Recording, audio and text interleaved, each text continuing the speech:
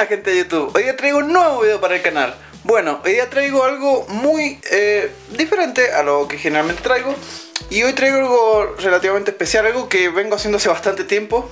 Una reparación en especial, esto es un video de reparación Que vengo haciendo hace bastante tiempo. Y digo yo, bueno, ¿por qué no lo voy a grabar? Si veo que ya que es tan común este problema, esta falla Bueno, lo vamos a grabar. Eh, Vamos a ir al grano, este va a ser un video corto. Y es sobre esto. No entra en cámara, pero eh, bueno, la marca no me paga, desde ya aclaremos eso, así que, que sea, ya se ve. Bueno, esto es un parlante portátil, ahí se puede ver el parlante que no sé si es de 2, 3 pulgadas, y acá tiene otro par de parlantitos, más bien tweeters, eh, y la salida del parlante grave. Bien, seguramente muchos de ustedes habrán reconocido, habrán visto alguna vez uno de estos equipos. Este en especial trae puerto USB, eh, supongo que es para leer pendrive, el puerto de carga, eh, bueno, toda la, botonera de reproducción, un lector de tarjeta SD, control de bajo y volumen, y el display y bueno, el botón de encendido tampoco tiene mucha más ciencia. Y aparte de este equipo, aparte de esto, eh, y la entrada auxiliar, y aparte de todas estas formas de leer música, por así decirlo, trae Bluetooth. Que de hecho, al prenderlo, Bluetooth. Pero bueno, ¿A qué va este problema y cómo lo vamos a solucionar? Bien, posiblemente a muchos les haya pasado que eh, tanto usarlo, tanto cargarlo, de hecho está pidiendo carga en este momento, conectan el cable, déjenme que le muestre, ahora el cable no está conectado a la corriente, pero no importa, conectan el cable y no carga, bueno a ver, ahí está conectado el cable, y para que vean que es el mismo cable, no entra en cámara, perdón, no entra, lo vamos a conectar al power bank. Se alimenta con 5 voltios. Y ni siquiera el power bank detecta que está conectado. A ver si por ahí hace el intento. Miren, por ahí como que hace el intento. Pero no, no, no, no. Nada, nada. Directamente ya no detecta la carga. Y si lo quiero hacer funcionar sería... De hecho, si se fijan... A ver, vamos a eliminar esto. Bueno, el, el tema es que ni siquiera está cargando, básicamente. Y es por el conector. Y si se fijan... El micro USB este lo voy a poner acá cerquita. Miren el juego que tiene. Eso no es bueno y no es normal. Ven, miren, se sale solo. Es que directamente se sale solo. Y esta rotura, aunque ustedes no lo crean, es muy, muy, muy común. Sucede muy a menudo. Disculpen, me estoy cocinando hace 40 grados en esta habitación. es muy, muy común. Y he hecho esta reparación un montón de veces. Desde parlantes chiquitos hasta unos bichos de 12 pulgadas, que son todos portátiles, todos con batería interna. Así que bueno, lo vamos a desarmar, le vamos a hacer la modificación, porque no es reparar el micro USB y que siga cargando con esto, no, no, no, no, eso no sirve, gente, para...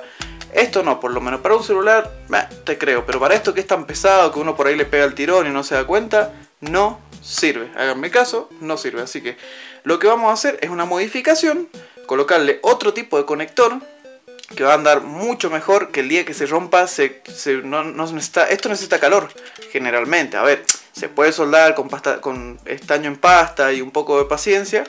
Eh, se puede soldar esto sin necesidad de calor, pero ya requiere cosas muy, a lo mejor para algunas personas, muy poco comunes. En cambio, lo que le voy a colocar ahora se lo puede cambiar hasta un simple electricista que tenga los conocimientos más básicos de soldadura, se lo va a poder reemplazar por un precio muy, muy económico. Aparte de que aguanta mucho más.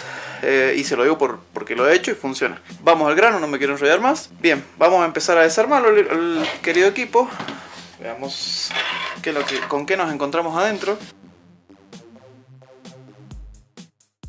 Una recomendación que les doy, que bueno, realmente hay otra gente que no lo utiliza tanto, pero yo sí, yo en lo personal, es eh, utilizar un imán para guardar los tornillos. Otros prefieren un tarrito, también puede ser, no le afecten nada, pero yo prefiero el imán porque por ahí el tarrito lo golpea y se voltea todo, en cambio el imán eh, lo puede golpear uno y no sería tanto problema. De preferencia neodimio, como lo de los discos duros, tengo uno por ahí pero no lo, no lo veo, así que bueno, nada, vamos a usar este que era un parlante. Vamos a seguir desarmando.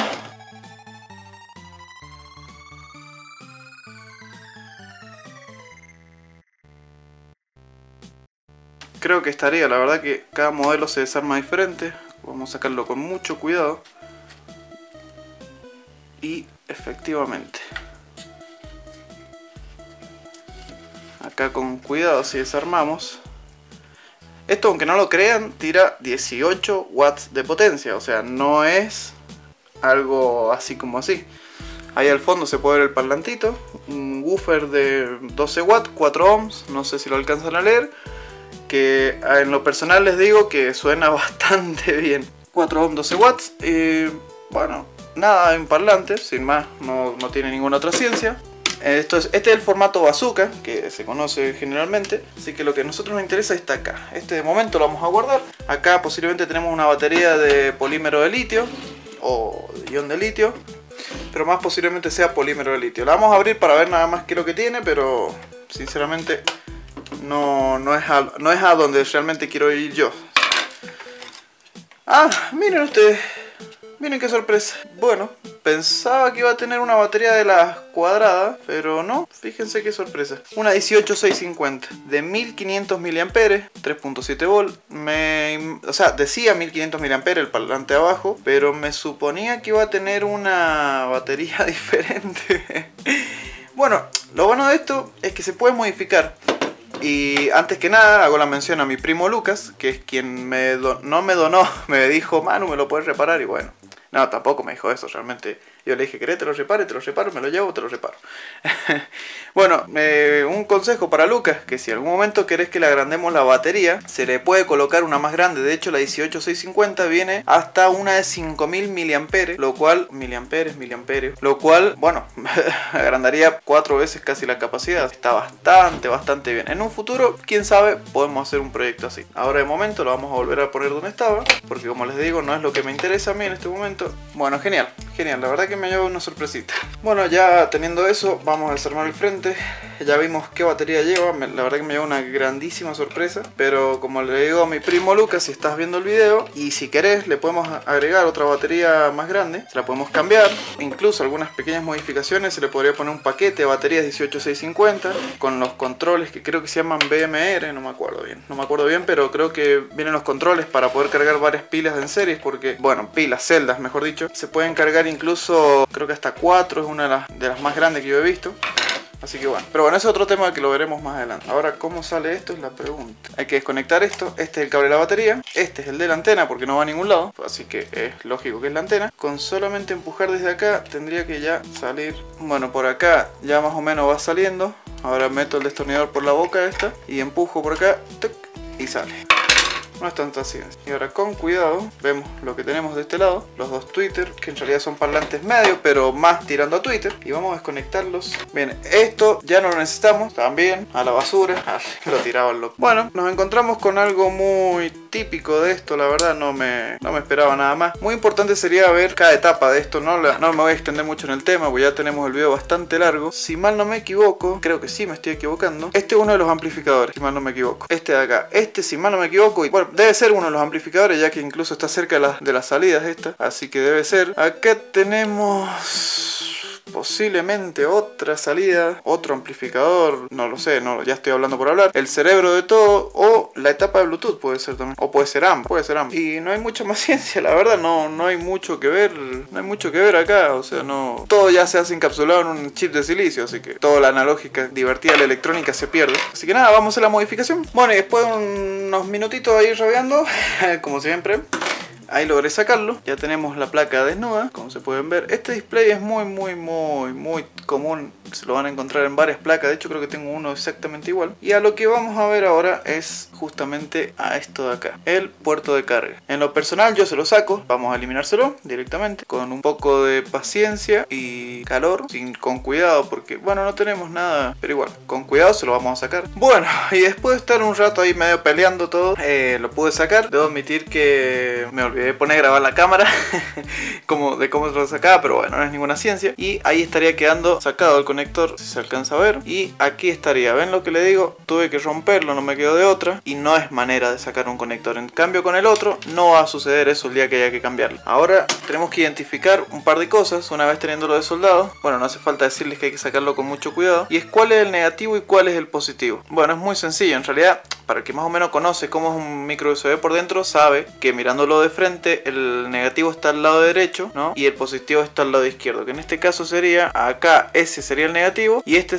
solito sería el positivo. Que el negativo es muy fácil identificarlo porque simplemente ponen el tester en continuidad, afirman una de las puntas acá y afirman cualquiera de las otras puntas, por ejemplo acá. En estas pistas que son más anchas, siempre son masas estas pistas, siempre, siempre. Entonces tienen ahí, tienen acá deben tener masa, ese puede que esté a masa, tienen muchas masas, de hecho todo esto es masa.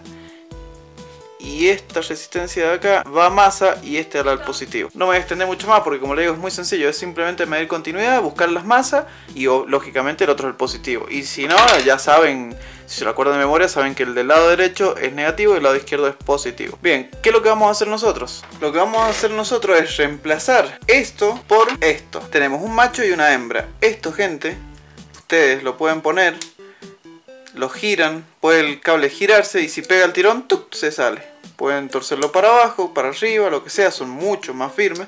Se sale, el cable puede girar tranquilamente, que va a seguir haciendo contacto. Y el día que se rompe esto, miren, son dos cables, bueno, acá hay tres, pero realmente se unen. Eh, estas dos creo que se unen. Y son dos cables, uno de masa, un positivo, y lo mismo de este otro lado. O sea, no hay ninguna otra ciencia. Es una modificación sencilla, simple, lleva una hora y media hacerla aproximadamente. Y bueno, hay que proceder a hacer un nuevo agujero en donde se vaya a colocar, porque lógicamente no eh, trae, por ejemplo este. El anterior estaba acá, pero yo estaba viendo de colocárselo acá, quedaría bien, si se fijan en el medio, pero está la botonera y no, no, si se fijan no, no quedaría, no quedaría. Lógicamente acá tampoco, podría ir acá, acá, pero no ahí, por ejemplo, pero no me termina a mí de convencer. Así que creo que lo más factible va a ser colocarlo acá, arriba del puerto USB, lo cual tampoco me gusta mucho, porque imagínense que el cable esté empujando siempre un, un pendrive acá, pero generalmente yo sé que el dueño de este equipo lo usa más que nada con Bluetooth, es muy raro la vez que lo usa con pendrive y generalmente tampoco es recomendado usarlo mientras que se está cargando. Eh, siendo sincero, no es para nada recomendable, así que en cierta forma no tendría que tener problemas. Y nada, acá está bien, o sea, mi primo lo que quiere es que esto funcione, siendo el caso. Y creo que cualquier persona lo que más quiere es que funcione. Y se va a ver bien estéticamente, que va a quedar bonito, hay que hacer el agujero. Por suerte es plástico, así que va a pasar fácil. Si fuera aluminio tampoco sería un problema, la verdad, teniendo la herramienta adecuada. Así que, vamos a perforar y ya vuelvo. Y bueno gente, estaría quedando algo así. A lo mejor quedó un poquito chueco el agujero, pero no, quedó bien, créanme que quedó bien. Ahora si le agrego un agujero más, no, no le queda para nada mal. Y de hecho, si se fijan, entra justo, pero justo, justo. Y no le modifican nada al frente, la verdad que queda muy bien. Y va a funcionar, eso es lo más importante de todo. Así que nada, ahora lo que hay que hacer eh, bueno, no, realmente habría que soldarlo antes de colocarlo, pero les voy a ir más o menos mostrando cómo queda esto. A vos, Lucas, si estás viendo el video. Hoy lo he nombrado mucho a mi primo. vos, Lucas, si estás viendo el video, vas a ir viendo más o menos cómo, cómo está quedando, que seguramente lo estarás viendo de Buenos Aires y estarás gritando qué, acabas de hacer con mi parlante. No, no, pero queda bien, queda bien, no, no, no, esto esto, esto te va a funcionar, primo, ¿qué crees? Así que bueno, nada, ahora vamos a ir a la siguiente y relativamente más complicada parte porque hay que soldar ahora en un lugar donde realmente casi que no hay lugar. Así que bueno, como siempre va a tener que asistirnos nuestra amiga la Lupita. Bueno, eh, ahora viene la parte en la que a mí me entra una duda en este momento porque no sé si soldarlo de este lado, soldarle los cables, no sé si está bien enfocado o no, no sé si soldarle de este lado los cables, este es el negativo, este es el positivo, o soldarle de este lado, este es el negativo, este es el positivo. Estas son resistencias de un valor cero o lo más aproximado cero, que actúan en cierta forma como un fusible, en cierta forma, es como para que no haya una conexión directa, eh, supongo yo, que, que sé yo, las veces que las he visto, calculo que son para eso. Podría anularle estas dos resistencias y soldarle directamente el cable o soldarlo de este lado. Lo que pasa es que acá quedarían mejor. Lo que no sé si es que tengo lugar para pasar después los cables para atrás, porque acuérdense que va a quedar del lado arriba los cables. No sé si tengo lugar, la verdad me parece que no. O podría soldarlo acá, pero no me gusta mucho la calidad de la conexión. Miren, vamos a hacer una cosa. Voy a probar, voy a soldar a ver cómo quedan. A la muy mala, si veo que se despega o lo que sea, lógicamente hay que echarle silicona. Eh, nada, los voy a soldar de este lado y bueno, me las rebuscaré, agujerearé un poquito el plástico para hacerle pasar, no es problema. La idea es que esto funcione, ¿no? que quede funcionando, ya que el diseño del fabricante ahí en ese caso falló. Así que nada, vamos a proceder entonces a lijar con un poco de lija acá y que quede. Bueno, y ahí estaría quedando.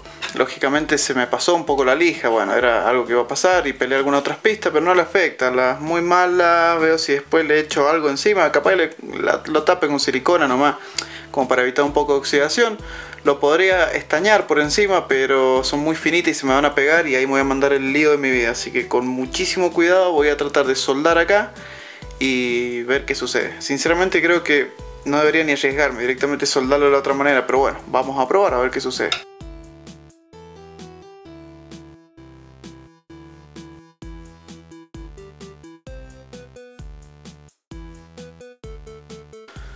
Bueno, ahí quedaron, debo admitir que quedó bastante mejor de lo que yo esperaba. No les puedo acercar mucho, se sale de foco, no sé por qué. Em, quedó bastante, bastante mejor de lo que yo esperaba y creo que no se ha quedado tocando con nada. Así que bueno, vamos a seguir, vamos a hacer unas mediciones ahora de continuidad, de ver que no esté nada en corto y lo vamos a conectar a ver qué sucede. Bueno gente, ahí lo que hice fue agarrar, em, saqué de vuelta la batería de este, ¿no? Y su llave para poderlo probar afuera y ahora si encendemos perfecto, funciona. Pero me sigue marcando que está sin batería. Ahora lo que vamos a hacer burdamente, tengo conectado al power bank acá eh, los 5 voltios y vamos a ver si ahora me lo toma. Como no fue, se imaginan que no fuera este el problema y acabo de mandármela. Y ahora si lo conectamos,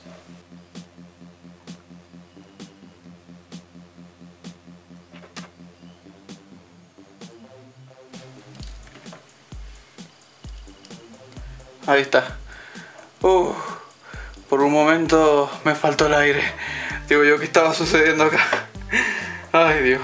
Bueno, pero por lo menos ahora me indica que está cargando. Era el power bank bendito ese que en el video anterior también me hizo rabiar. Ay, Dios.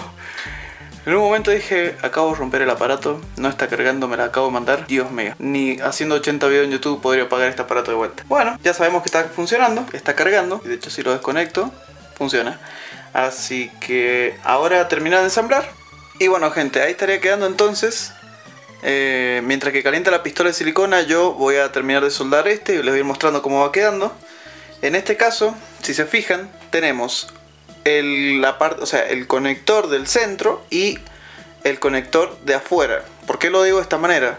porque uno puede elegir básicamente si quiere que el positivo esté por afuera y el negativo esté por dentro o viceversa. Generalmente siempre se usa el negativo en el chasis, por ende se deja el negativo en la parte de afuera del conector hembra este, que no me acuerdo nunca el nombre, así que voy a hacer lo mismo, voy a dejar el positivo por dentro y el negativo por fuera.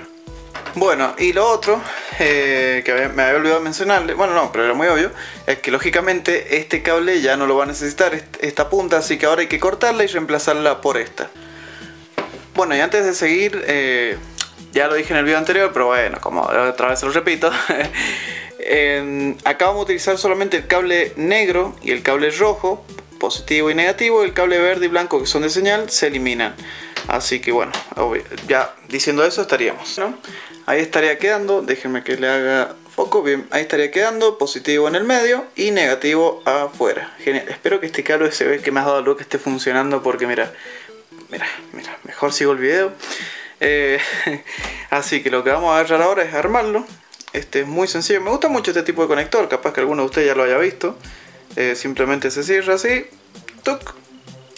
Ahí. Y después, bueno, se trae por acá. Viene con la gomita esta. Se le coloca esta gomita como traba. Ahí. Y listo. Esto no jode más. Pero no me gusta esto, que queda suelto y que puede pegar un tirón. Entonces yo por las dudas le pongo silicona. Entonces lo volvemos a abrir. Entonces ahora simplemente colocamos silicona como que no hay un mañana. Esto es más que nada para que cuando lo tiren no intente romperse, más que nada. Como para darle una pequeña duración ahí, ahí a lo bruto y rapidito, rapidito, quemándonos los deditos. Cerramos y apretamos. Esto a lo bruto, a lo bruto, no importa. Y ahora quemándose, ay, ay, ay, ay. Quema, quema, quema, quema, quema, quema. La, la, la, Y ahora ponemos el arito de goma, que esto ya lo podemos soltar. Y bueno, ya después sacamos con cuidado el resto de la silicona que ha quedado ahí. Pero ahora sí, esto queda, ¿ven? No se mueve tanto. Bueno, sí, tiene ese pequeño movimiento, pero tampoco podemos hacer las cosas en eternas, ¿no?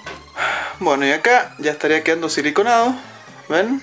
Entonces de esa manera protegemos la placa, espero que haya quedado el RAS. Sí, está el LCD agarrado perdón, al display. Y ahora terminamos de siliconar. Estoy apuntando a cualquier lado, me van a matar ustedes, pero estoy apuntando para cualquier lado. No hace falta esto, sinceramente.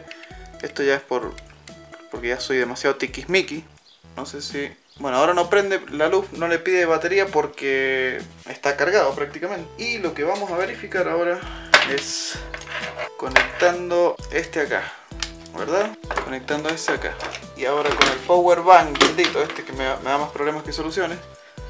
Si yo conecto, prenderá. Hay que prenderlo. Y efectivamente, ahí está funcionando. Entonces miren, yo giro la ficha. Sigue cargando, la luz roja no apaga. A no ser que saque la ficha. Ahí apaga, pero si no, miren. Tac. Perdonen que esté tan lejos el plano, pero bueno. Esto funciona. Entonces ahora lo que vamos a hacer es volver a armar y listo. Y bueno gente, eh, ya habiendo terminado de armarlo, estaría quedando tal que así. Disculpen el desorden que queda en la mesa, pero bueno, es típico. Ahí estaría. La verdad que no. No le Yo pensé que iba a quedar medio feo, lo he hecho varias veces, pero en otros equipos de no tanta calidad y bueno. No, no les hacía la diferencia. Pero este que es un poco más bonito, digo, bueno, va a fallar, pero. No, efectivamente no tuvo ningún problema. Así que ahora prendemos. Perfecto. Y veamos si carga. Ah, claro, hay que prender el power bank.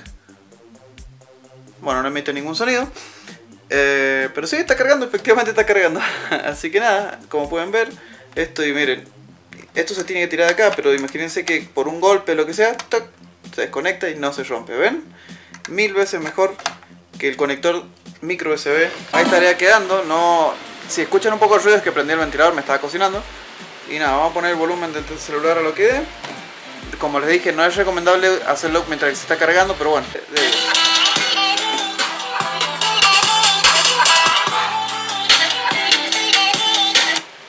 que ahora apagamos y lo voy a dejar cargando. Así que bueno gente, con esto me despido. Eh, fue un video cortito, os espero. suscríbanse, denle me gusta, compartan. Eh, fue algo bastante importante. Bueno, lo he hecho varias veces esto, por eso quería mostrarlo. Eh, así que nada, espero que les haya servido de algo, espero que les haya gustado, compártanlo si les sirvió, me ayudó un montón. Y nada, nos estaremos viendo pronto con algún otro video, ya estoy viendo que voy a traer más o menos de momento tengo demasiadas cosas, demasiados proyectos y no se me ocurre uno por cuál empezar en este momento. Eh, pero nada, bueno, gracias por el apoyo que estoy teniendo últimamente en el canal y suscríbanse, compartan, denle like y todo lo que ya saben. Chao, chao.